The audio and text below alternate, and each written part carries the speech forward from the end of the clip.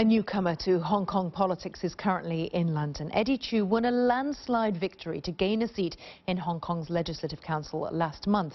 But he's here demanding answers from the UK government over allegations that it interfered in the process to aid the pro-Beijing council president. Now, the president in question is Andrew Leung.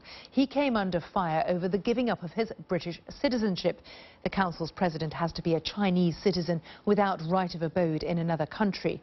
After some delay, Mr Leung provided this document stating that his revocation of UK citizenship had been approved by Britain on the 30th September.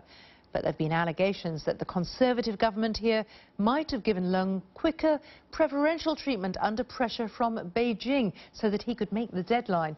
Uh, Britain's Home Office has refused to comment, it says, on individual cases. Well, lawmaker Eddie Chu is here with me. I know you've been trying to get to the Home Office. Mm. What are you trying to say to them? What I, what I'm to put questions in order to clarify uh, what had happened between the Home Office and Andrew Leung.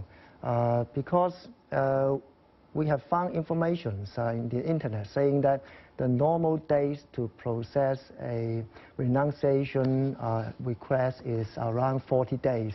But Andrew Leung did his application on 22nd of September. So he only he got his renunciation ready only eight days. So the the problem is why he, is, he was so confident that he can manage to do this. And we, we are suspicious that uh, he was so confident because uh, he got guarantee from the British government or Beijing government that he could get a speed up process. So what do you think this says about the UK-China relationship? Well, it says that uh, so when after the Brexit, then maybe the British government is um, more ready to uh, have a closer relationship with China.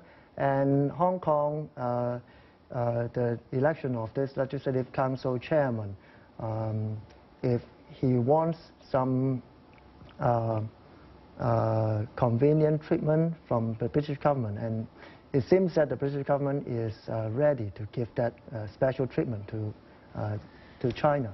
And thinking about what's happening at home in Hong Kong um, and the new uh, Legislative Council, uh, there are many new lawmakers like you who want things to change, but there's been quite a bit of chaos already, even in the taking of oaths. Mm. Well, yes, uh, because we are, uh, after the umbrella movement uh, in 2014, um, many Hong Kong people, especially the young people in Hong Kong, they no longer want to follow strictly to the basic law and all those uh, political decisions of the NPC, National People's Congress, about uh, the political system of Hong Kong. So we want to uh, determine our own future. And in this Legislative Council election, it is the first time in Hong Kong history that different um, ways about uh, the future of Hong Kong were presented to Hong Kong people. And what is your aim? Is it to be like Taiwan? Is that, is that where you'd like to go? Well, um, my aim was to gain back the rights for self-determination that was seized from the Hong Kong people in early 1980s, before the joint declaration was signed between the British and Beijing government. Do you feel safe as you go about making these demands?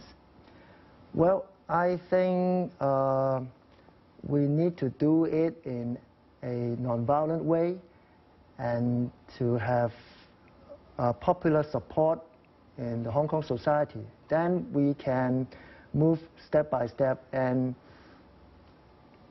at the end, I think after one or two terms uh, of the election in Legislative Council, we can have a majority. And at that time, I don't think China has the excuse to crack down us violently because we have uh, the support of the majority of Hong Kong people.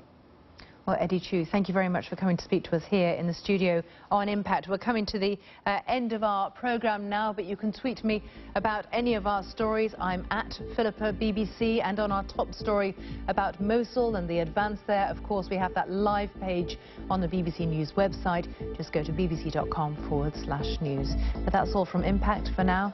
Thanks for watching.